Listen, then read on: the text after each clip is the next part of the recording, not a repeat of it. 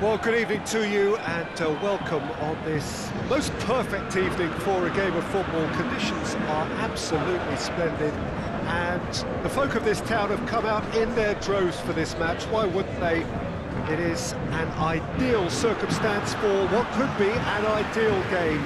Everybody has been attracted to it. It has been the talk of the town and uh, the buses have been packed, double-decker buses lining up outside. Coaches have carried thousands of away supporters here too, and uh, all of it adds up to make a terrific and crackling atmosphere.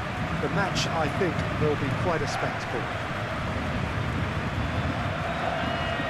Is a venue this which simply adds to the spectacle of the game in stages. One of the most impressive arenas in this part of the world.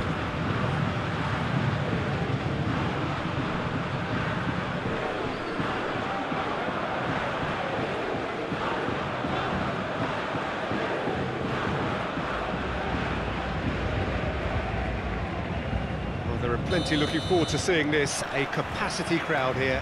Yes, Peter, it's a shame it's only a, a, friendly, but then again, that may help us see a more expressive attacking contest.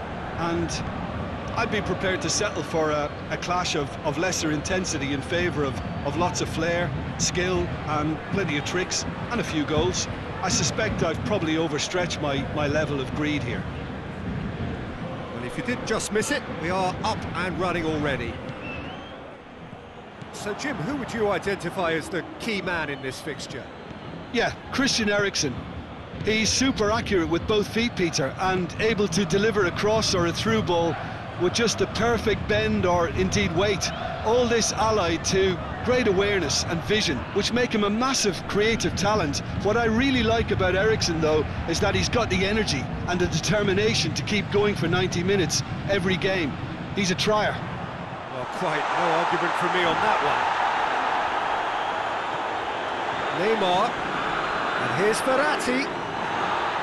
Whistle's gone, that's uh, foul.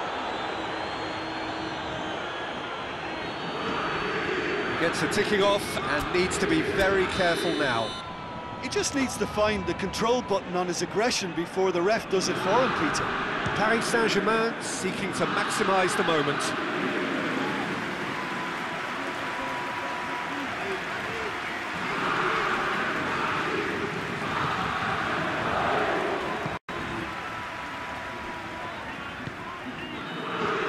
Just to point out, Peter, that the fullbacks are quite high.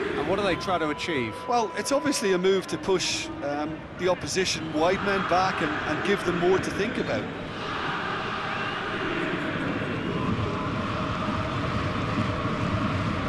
To the keeper and go again. Hakimi. Still a little short of forward momentum, lacking thrust. Neymar. Fabian Ruiz. Neymar. Just brushed off the ball there. Now the counter. And he's on his way! He's Rashford! Oh, what a goal! About as smooth as it gets! Oh, it's lovely to see the art of disguise alive and well, but the keeper straight into no man's land. Manchester United, the deadlock, has a pop!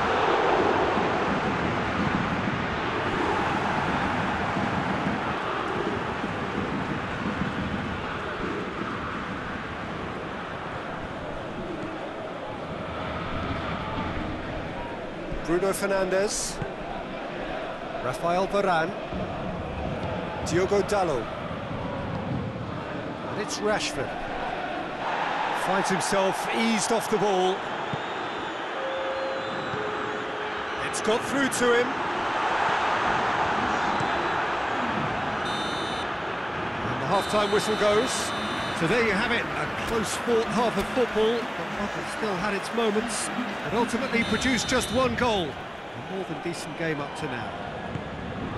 Not the most convincing of displays, they can certainly do much better than this. They'll want to keep things simple, build up their confidence, and not rush into mistakes. And we're already back underway here. Paris Saint-Germain need to get the balance right to sort this out. Ambition must be complemented by Just the right amount of caution, and I think the more experienced players can oversee that. Well, the crowd clearly like what they just... Yeah, he's fouled him there.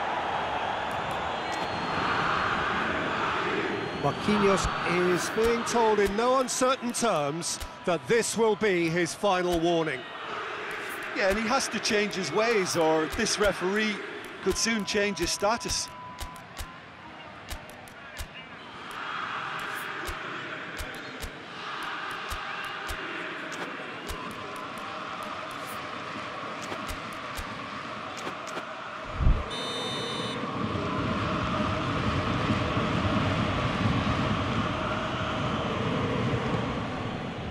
Shaw.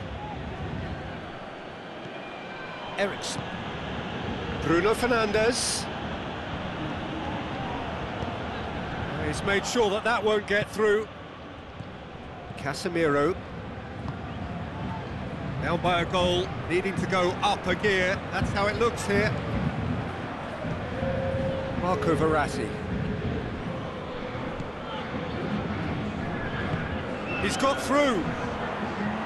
Varane gets good distance on it. Now the cross. Towering header! Goal! Paris Saint-Germain are back on level terms. A lovely header, but really it was all about the delivery. Oh, look, it's it's often the timing of the jump that dictates what you can do with any header, and if you get it slightly wrong, then you'll struggle, but that was beautifully met, it really was.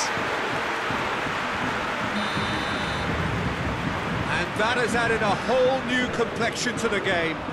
Ah, look, Peter, I was on the fence before a ball was kicked, and uh, I still haven't moved. He's found his man. Got a sight of goal here. Well read, he sorted that out. Renato Sanches brings it forward. Oh, what a ball! Messi, and Messi! A real chance and a real let-off. I think he still deserves full marks for making his way through. It was a, it was a cracking run.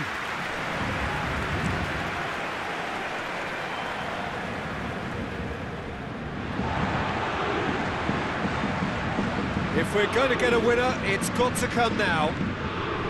Renato Sanches tried to play it through. Yeah, the idea was right, the delivery wasn't. They can revisit that further on. Looks to clip. Oh, shooting chance! Manchester United merit full marks for their attitude and application in trying to win this. It means an awful lot, obviously.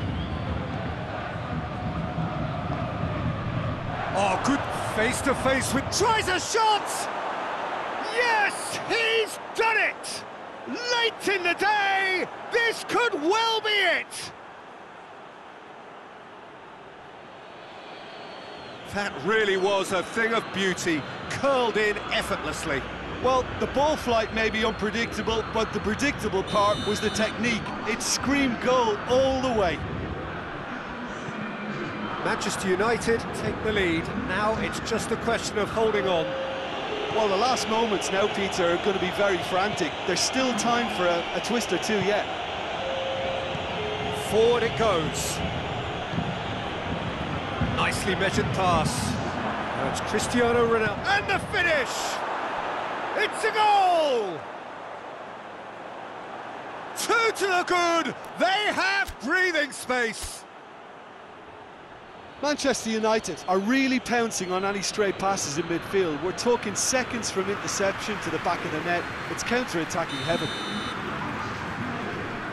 When the manager called on him, he was only too happy to repay that faith. Well, he instruct...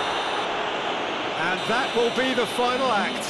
Paris Saint-Germain beaten here. They might well feel aggrieved, but the result is everything. So, Jim, how do you reflect on what we've seen? It can be difficult.